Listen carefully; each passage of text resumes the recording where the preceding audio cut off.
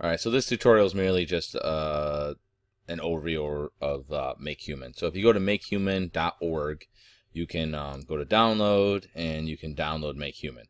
Um, I believe there's a Mac version as well as uh, I'm not sure.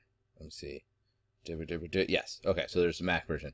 The nice thing about this program is actually you don't have to. Um, at least I know for the the, the PC version, um, the Windows version, you don't actually have to install it.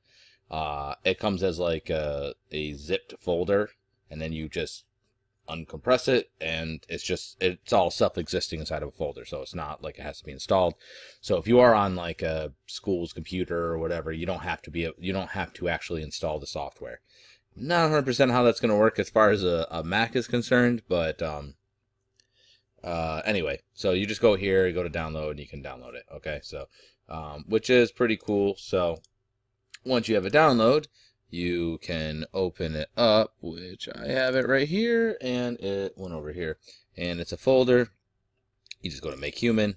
It's going to pop open a shebang bang. Um, let's see. Here we go. That looks pretty cool. Um, basically, it's just going to allow you to uh, produce uh, relatively quickly, uh, much like a, a video game, a 3D model um, so that you can rig it. Okay.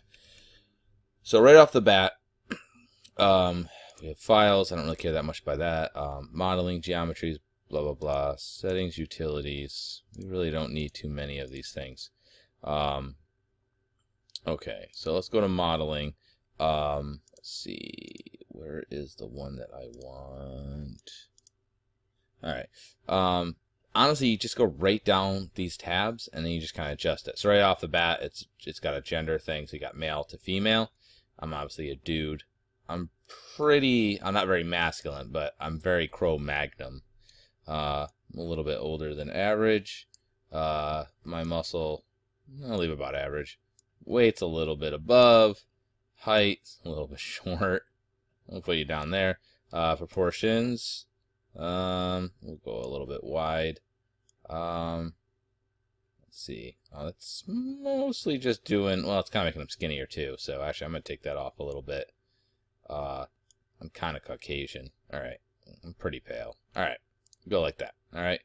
Um, then it has basically different things to adjust the uh, gender. Okay. So, um, you can see there's a bunch of things dealing with breasts, if you will. Uh, and then there's ones dealing with genitalia. Okay, so honestly, for the most part, you shouldn't have to deal with that. There are things also dealing with the face, with the torso, arms, legs, random stuff, uh, custom stuff, uh, and measuring stuff. Okay, you you just go right down the line. Just go right through, do whatever, what have you. That's great. So that's the modeling tab, and it has all these sub categories. Okay. Then we can go to geometries. Now, so hide faces under clothes. Uh, basically, you can add, they have hats and all these different filters, and you can add all these clothes and things, um, which is fine. Uh, there's not really a, a ton of options here, but if you want to add stuff, you want a Canadian tuxedo, there you go. Okay, so, um, click that. Uh, eyes, teeth, blah, blah, blah. The only one I really find that is actually kind of relevant, so the rest of these are whatever, and you can add these, I don't really care. You really don't need a tongue or eyelashes or eyebrows. Um, and honestly, you really don't need teeth, hair, or eyes. So actually, this whole geometry thing, for the most part, don't even worry about. You can add clothes if you want, that's fine, but um, topologies is the only one I actually care about. So if you go over here, uh, we have a, a, variety of options. So if I click on this one, it gives me my geometry. Okay, so this little button here. And basically what they do is they have these like pre-made geometry options, okay? So you have the none, we have male generic, okay? Um, we have male muscle, uh, and proxy. So proxy is no good because that's too low res. Um, male muscle is not too bad. Generic is okay. Um, Let's see. Female muscle or none. I honestly, personally, would probably go none. I think that's actually probably the best one. Um, the main thing is don't do the proxy one because this is too low res. I mean, it's nice because it's kind of low res, uh, but I think. Let me see. I mean, that's kind of high res, but uh, I would probably go the none route. Okay, so uh, good. So we'll just do that, and then they have materials. You can uh, apply different. Um, turn this back off. Oops, I don't know what I just did. Was that smooth? Smooth. Yeah, we don't need that. Uh, let's just double check something. Okay, good. Yeah, we need the opposite of smooth. Um, but they have different, um, basically, textures you can apply to it. We don't need any of that business. We're not going to worry about pose or animating. None of that's going to be necessary. We're not going to worry about rendering. Um, settings really don't matter. Utilities don't matter. Okay.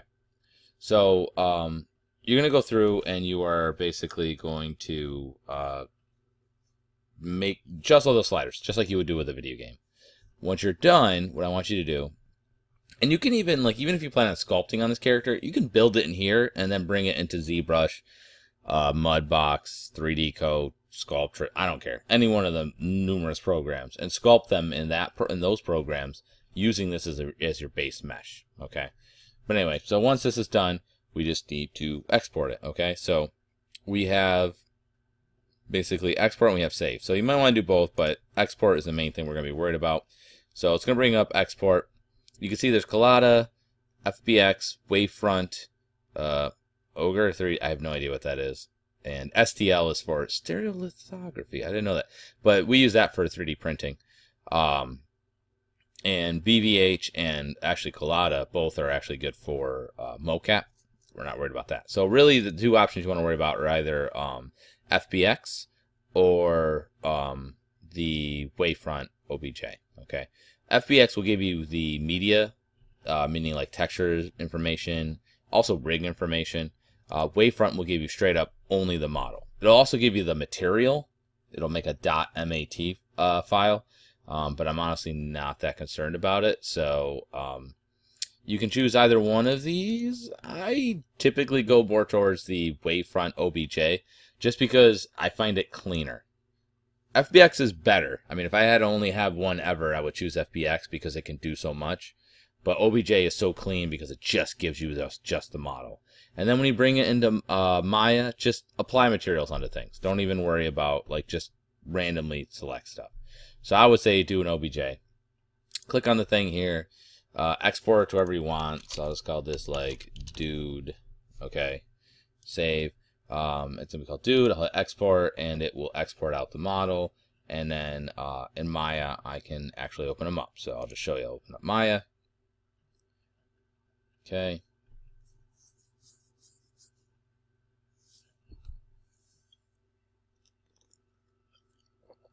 I'll actually pause this while it is. All right, Maya's open. So now what I want to do is import that into here, right? So to do that, first thing I want to do is go to Windows, Settings Preferences, Plugin Manager, and make sure if you scroll all the way down, you want to look for, I'm going to scroll back up. So it was um, Windows, Settings Preferences, Plugin Manager. Um, I want to look for OBJ Export. You want to make sure that's loaded and auto load, okay? Um, basically, that's going to allow you to import uh, OBJs. If you did the OBJ, you could also have done the FBX. So then I'm just going to import, go to my desktop, look for that dude. There's dude. You can see it made it. Oh, I'm sorry. It's an MTL, a material file. It's MTL. I thought I, th- I thought it was a- MAT. So uh, OBJ import, boop, and there's your dude or dudette, depending on what you're making. Okay, and then from there, I can start working on uh, my rig. Okay, so you have a really basic kind of thing.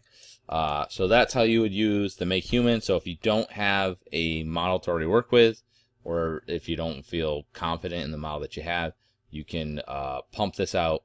You got yourself a, a dude, uh, and you can start rigging it. Okay? So there you go.